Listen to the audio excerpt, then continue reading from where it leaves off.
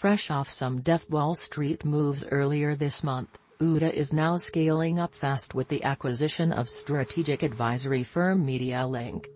Already a player in branding and marketing circles with its in-house UTA Marketing and UTA Brand Studio divisions, the Uber agency has purchased the Michael Kassan-founded company from UK-based Ascential plc for around $125 million.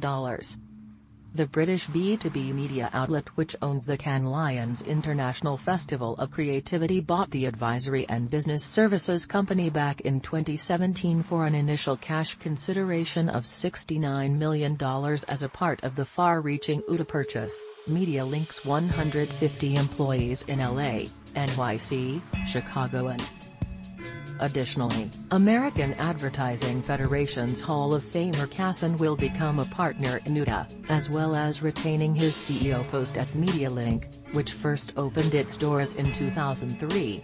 This is an expansion driven by two things, UTA CEO Jeremy Zimmer told Deadline tonight of the move to buy Medial.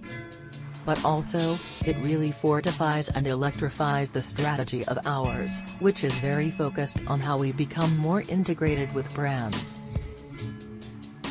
How we work more closely with brands, create opportunities for our clients to work more closely with brands, and to really help navigate the increasingly complex universe that brands are facing as media goes to streaming and as more and more of the traditional outlets where brands have advertised are a connecting quartet at CES and the annual Cannes Lions event, among others over the years, MediaLink has a client base that includes the likes of Disney, AT&T, a directory of C-suiters and blue chippers.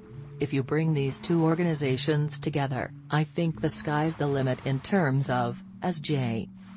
I've always looked at the talent that UTA represents, those are brands just the same as General Motors, or AT&T or any of the brands that all of us work with.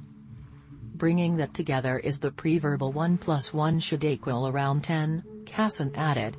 Out of the acquisition, UTA Marketing will be retitled as UTA Entertainment and Culture Marketing, and become a part of MediaLink. Correspondingly, UTA marketing bosses David Anderson and Julian Jacobs will become part of Kassan's executive team. The growth ground game by UTA comes as fellow big player agencies WME and CAA have jolted their augmentation in recent months. For the former, the Ari Emanuel and Patrick Whitesell-run parent company Endeavor Group Holdings staged a successful IPO in April and has seen its stock price hold relatively steady in subsequent months.